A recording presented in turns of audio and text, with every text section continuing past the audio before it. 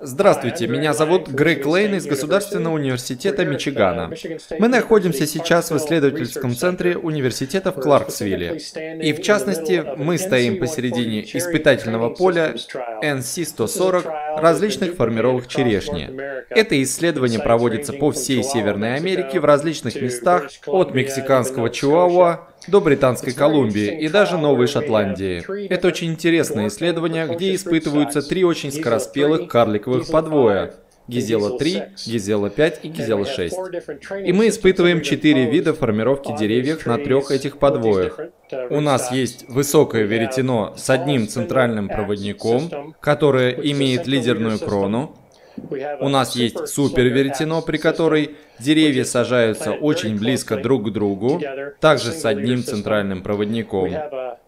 У нас есть KGB или формировка куст Кима Грина, вариация испанского куста. Это многоствольная кистевидная формировка дерева, а также формировка UFO, вертикальные плодоносящие побеги или кордон, которая предполагает множество проводников, выстроенных на плоскости. Мы посмотрим на каждую из этих формировок отдельно. Я сам и Лин Лонг расскажем о правильной обрезке деревьев такой формировки. Мы посмотрим на деревья, для которых этот сезон станет третьим. То есть мы формировали их в течение двух лет, сейчас они начинают цвести и плодоносить. Большая часть формировки выполнена, теперь мы работаем над развитием индивидуальных побегов плодоношения в каждой формировке. Тут мы стремимся получить формировку УФО на подвое Гизела 6. Эта формировка разработана для распределения силы роста по дереву. Каждый из вертикальных побегов отнимает силу дерева, которое стремится к формированию лидерной кроны. Поэтому, когда у вас сильно рослый подвой, даже скороплодный сильно рослый подвой, как этот Гизела 6 или Гизела 12, когда вы формируете дерево со множеством проводников, например, по системе KGB или UFO, получается хороший симбиоз формировки и силы подвоя. Если мы используем карликовые подвои Гизела 3 или Гизела 5, при такой формировке нам нужно располагать деревья намного ближе друг к другу и использовать меньше проводников на каждый подвой, поскольку менее сильнорослое дерево не сможет выдержать такую же нагрузку плодовой стены, как более сильнорослое. Это дерево сорта Бентона на подвое Гизела 6 с формировкой УФО. У него начинается третий сезон вегетации. В первый сезон дерево было посажено под углом. Мы удалили все почки снизу дерева, а также по бокам и позволили вырасти только верхним почкам. Так мы получили вертикальные побеги. И поскольку эта часть исследований включает эксперименты с некоторыми другими формировками и проводится по всей стране, нам пришлось снова формировать дерево в начале второго года. Для этого мы срезали выросшие в первый год вертикальные побеги. И теперь где-то мы получили два побега там, где был один. На второй год мы снова заполнили плодовую стену вертикальными побегами, и сейчас наступает третий год. Теперь мы проводим прореживание, удаляя очень сильные из них как вот этот толстый побег.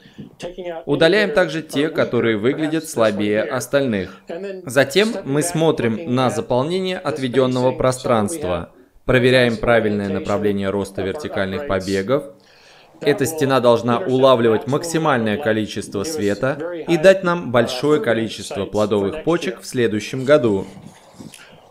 Я начну удаление всех боковых ненужных ветвей, которые не будут закреплены на шпалере. Им не хватит места.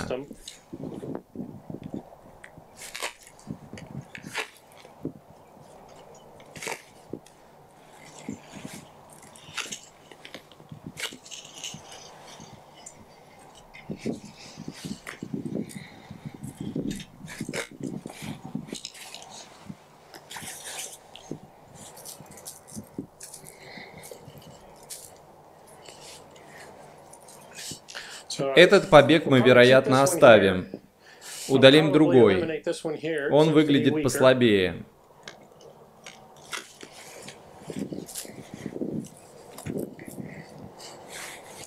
Подвяжем его позже.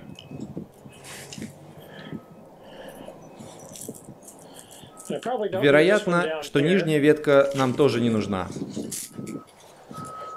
Таким образом, мы заполнили пространство с этого края. Проводники расположены на хороших интервалах. Уберем это раздвоение. Также избавимся от этой боковой ветви.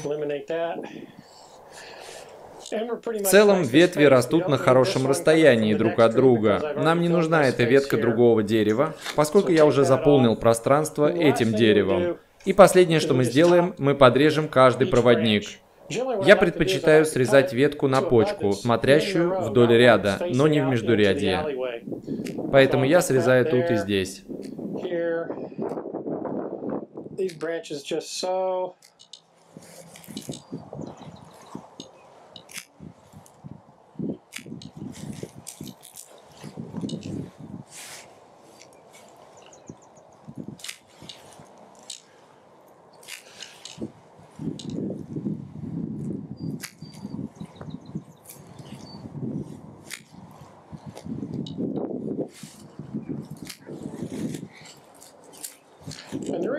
Я подрезаю верхушки, потому что мы знаем, что на скороспелом подвое, таком как Гизела, все индивидуальные узлы с почками в этом году дадут веточки с листьями без плодов.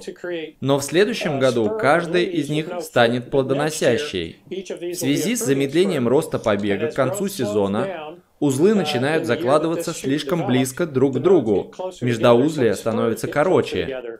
И через два года после формирования этого побега у вас получится слишком плотное скопление плодов. Поэтому, удаляя верхушки, избавляясь от скоплений плодов, мы сохраняем баланс у плодовой стены.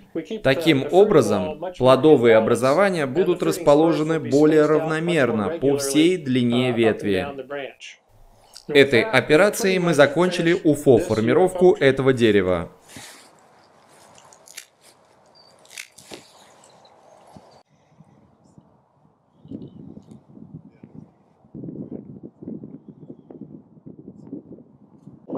Здесь мы видим очень сильный побег. Мы подрезали ветку в прошлом году, и из пенька появились три побега замещения. Один из них очень-очень сильный. Нам нужен в этом месте один побег, но не очень сильный. Иначе он может стать основным стволом, вместо того, чтобы быть плодоносящим побегом. Поэтому мы его отрежем. А также этот мелкий. Затем подвяжем этот к проволоке. Он заполнит нашу плодовую стену и будет соблюден баланс. Здесь мы смотрим на несколько деревьев формировки УФО. Они входят в третий сезон вегетации. Это сорт Рейнерс на подвое Гизела 3. Это карликовый подвой, очень скороспелый. Вы можете заметить намного более слабый рост побегов по сравнению с Бентоном. Также видно, что мы не подрезали во второй год побеги. Побеги, выросшие в первый год, сейчас цветут, и в третий сезон имеют плодовые веточки, плодовые образования. Здесь наглядно видны плодоносящие побеги, которые мы растим в первый и во второй год, и как они становятся плодоносящей зоной в третий и четвертый. Это то, что выросло за прошлый год, а это выросло два года назад. Замечательная демонстрация того, что мы ожидали увидеть на третий год. А на четвертый год эта часть ветви также будет цвести вместе с низом. Весь этот кордон, что вы видите, будет заполнен цветами на четвертый год. Также будет дополнительный рост побегов, который будет расширять плодоносящую зону по мере развития формировки. Нравятся наши переводы? Ставьте лайки, подписывайтесь на канал, оставляйте комментарии.